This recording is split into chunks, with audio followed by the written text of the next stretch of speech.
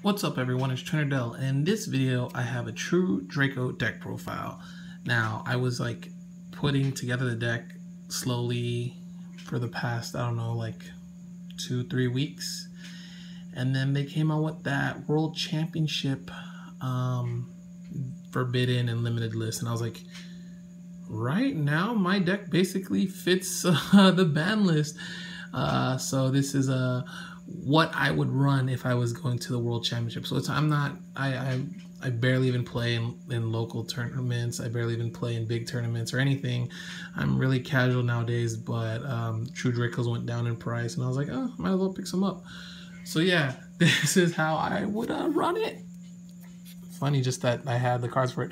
So the one Master Peace because it's the boss monster and in the OCG it's at one. So I only picked the one because I was like iffy, like, oh, if we have a ban list, maybe I shouldn't pick up multiple copies, but it does what it does. One Majesty Maiden, the True Draco waifu, or caster, if you want to say.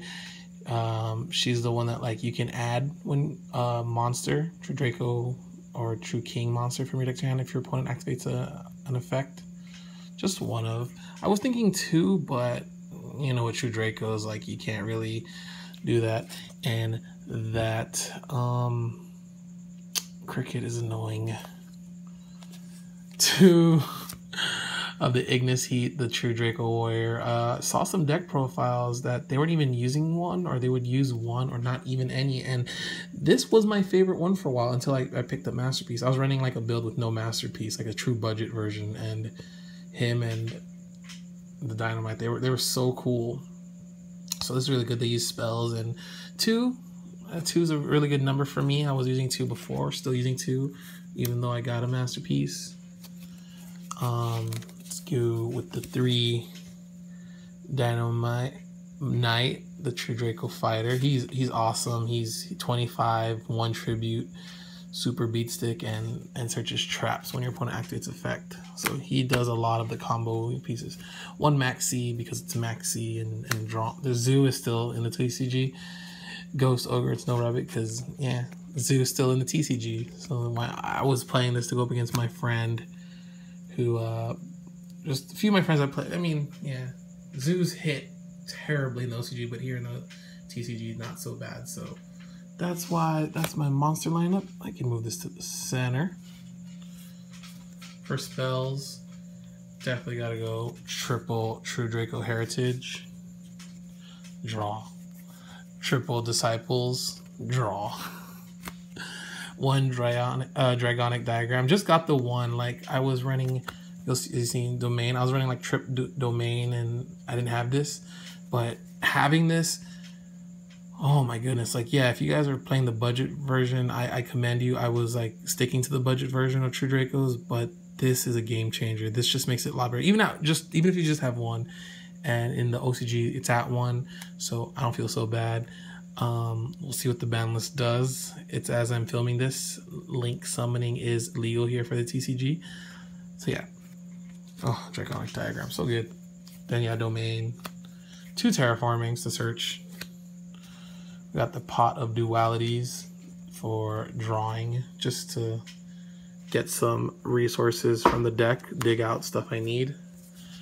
Card of Demise, just two of them. Now, I only got two because I could only afford two at the time. I didn't want to get the third one. And then checking that list out, I found out that in the OCG, they only have two Card. So it worked out perfectly for me. One Monarch Stormforth and a Dark Hole. I mean, would work out perfect for me if I went to Worlds, which everyone going, best of luck. I hope America takes it.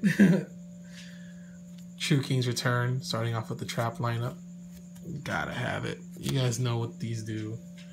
True Draco Apocalypse, which sometimes I like more than that, honestly. Two Waterfall Dragon Souls for just trying to search out, or even like recycle stuff from hand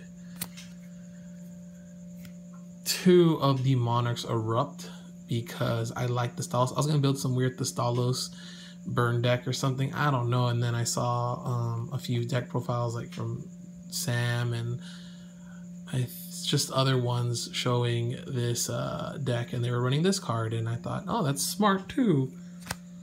Ever so often, I want to chain this card, Skill Drain, when my opponent does something, but I need to chain one of those effects first. So I'm like, oh, but that one comes in handy. But this does also comes in handy. I like Skill Drain. Imperial Order, which I seem to draw a lot in this deck. I don't know how to one of. I don't search it. I just hard draw it so many times and I love it. And the Solemn Warning to get everything. So that's the deck. No real need for a, uh, an extra deck. The side deck, eh, I'm not really going to Worlds. I'm not really competing with this. I'm still building it up. Um, I'm going to wait for the next ban list to see if I should invest in another one of these, another one of these, another one of these. I'll see how the next ban list hits and what I should do.